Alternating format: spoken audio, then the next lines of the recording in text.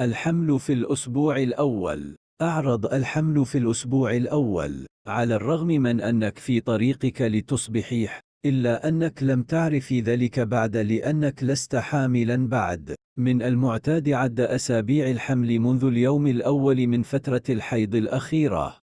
لذلك فإنك قد لا تكونين حاملا بالفعل في الأسبوعين الأولين من الحمل وقد لا تشعرين بأي شيء. بعد أسبوعين فقط يحدث أتبويض ويليه الإخصاب الذي ينتج عنه الجنين. لذلك فلن تشعري بعلامات الحمل في الأسبوع الأول لكن علامات الحمل الأولى تبدأ بالظهور في الفترة الأولى من الحمل بطبيعة الحال. ماذا يجب أن أفعل إذا؟ من ألمهم أخذ بعض الأمور بعين الاعتبار كما يأتي. التذكر أن صحتك وصحة الجنين تسيران معا طوال فترة الحمل وأن آية تغييرات في النظام الغذائي ونمط الحياة تؤثر على صحة الجنين وتطوره.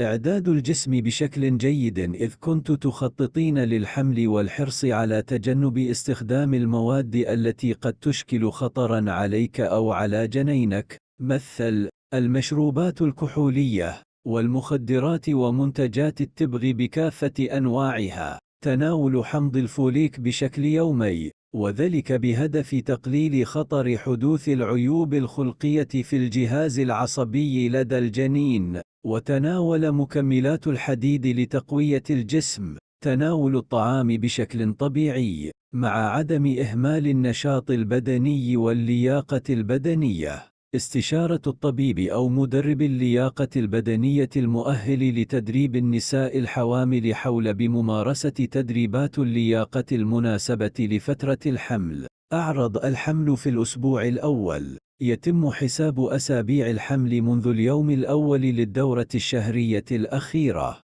لذلك فإنه في أول أسبوعين لا يكون هناك حمل. لأن التبويض والإخصاب لم يحدث. لذلك لا يكون هناك آية علامات للحمل في الأسبوع الأول. كيف أعرف إني حامل إذن؟ للحصول على المعلومة الدقيقة والمؤكدة. عليك انتظار موعد دورتك الشهرية والتأكد من فواتها. وبعد تأخر الحيض عن الموعد يمكن الفحص بالعديد من الطرق كما يأتي. الفحص المنزلي. يتوفر الفحص المنزلي في الصيدليات ويعطي نتائج دقيقة خلال خمسة أيام كحد أقصى حسب نوع الفحص وتكمن ميزة هذا الفحص في أنه متوفر في الصيدلية كما أنه سهل الاستخدام ورخيص الثمن. فحص الدم المخبري يعطي هذا الفحص نتيجة أدق لكنه يأخذ وقتا أطول ومكلف أكثر وعلى عكس الفحص المنزلي فإنه يحتاج لسحب عينة من الدم للفحص